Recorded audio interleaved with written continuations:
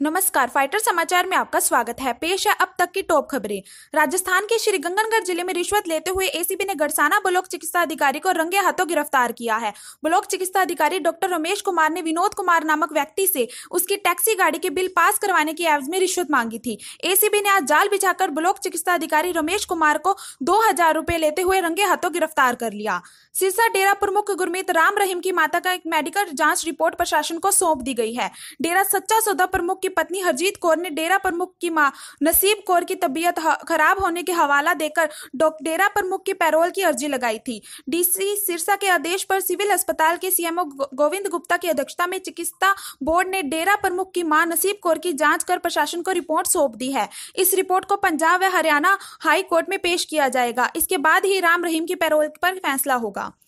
Gangster Sampat Nehra की फिरौती मांगने के मामले में चूरू की राजगढ़ पुलिस ने गिरफ़्तार किया है। लॉरेंस विश्नोई के खास गुर्गे में से एक संपत नेहरा जो पटियाला जेल में बंद था, उसे राजगढ़ पुलिस ने गिरफ़्तार कर लिया है। संपत नेहरा के साथ साथ उसके साथी बिल गोपाल को भी पुलिस ने गिरफ़्तार कर लिया है। दोनों से पूछताछ की जा रही है। संपत नेहरा व बिल गोपाल पर राजगढ़ निवासी रफीक कुरेशी ने फिरौती मांगने के आरोप में मुकदमा दर्ज करवाया था। पाकिस्तानी गुब्बारा मिलने से सनसनी फैल गई, यह गुब्बारा श्रीगंगनगढ़ ज़िले के जैसर पुलिस थाना क्षेत्र में मिला। गुब्बारा मिलने की सूचना पर मौके पर पहुँची पुलिस ने उसे जब्त कर लिया।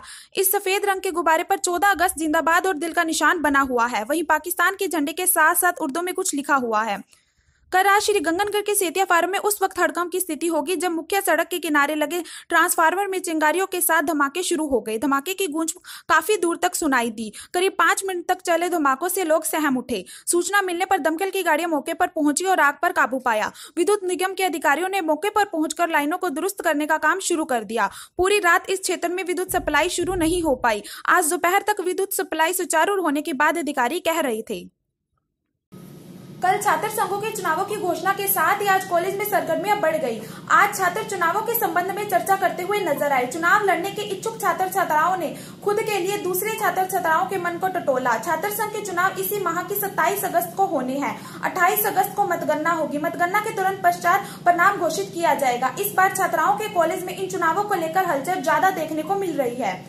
श्री गंगनगर ज़िले में नहरी तंत्र को मज़बूत करने और नहरों के रखरखाव को लेकर R W S R P project के तहत 32 करोड़ रुपए का बजट मंजूर किया गया। जल संसाधन विभाग को बजट जारी करने के बाद नहरी तंत्र से जुड़े स्थानीय क्षेत्र के अधिकारी प्रोजेक्ट को गति देने में जुट गए हैं। वर्तमान में एक्सपर्ट विभागीय कार्य प्रणाली और नहरी तंत्र को समझने में लगे हुए हैं। बांकड़ा खंड के ऐसी देवी सिंह बेनीवाल ने बजट मंजूर होने के बाद गुणवत्ता को लेकर विशेष ध्यान रखा जाएगा।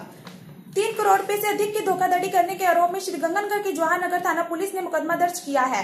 थाना प्रभारी प्रशांत कौशिक ने बताया कि बिरबल चौक स्थित पीएनबी शाखा प्रबंधक राजेंद्र खेड़ा ने मैसर्स ओम टाइडर्स के प्रोपराइटर धर्मवीर पुत्र महावीर के खिलाफ मुकदमा दर्ज करवाया है। उसने गवार गम के नाम पर लोन लेकर तेईस करोड़ उनतीस लाख रूपए की धोखाधड़ी की। बीकानेर ज़िले की छत्तरगढ़ थाना पुलिस ने पंजाब के दो तस्करों में को भारी मात्रा में पोस्ट सहित गिरफ़्तार किया है। थाना प्रभारी सुनील कुमार ने बताया कि मुखबिर की सूचना के आधार पर नाकाबंदी के दौरान एक कार को रुकवाया गया। कार की तलाशी ली गई तो उसमें दो कट्टों से भरा एक क्विंटल से अधिक पोस्ट बरामद हुआ। कार सवार पंजाब के फाजिलका ज़िले के नगर गाँव न्योला निवासी श्याम सिंह व रामनगर निवासी बूटा सिंह को एनडीपीएस एक्ट में गिरफ़्तार किया गया है। इनसे पूछताछ की जा रही है।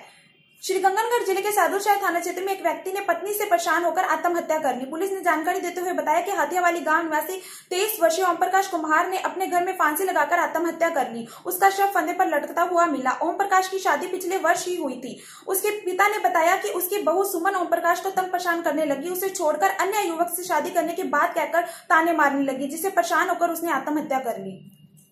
ताज़ा तरीन खबरों के लिए फाइटर न्यूज़ को सब्सक्राइब करें और बेल आइकन को प्रेस करें ताकि नई न्यूज़ अपडेट होते ही आपके फ़ोन की घंटी बज जाए।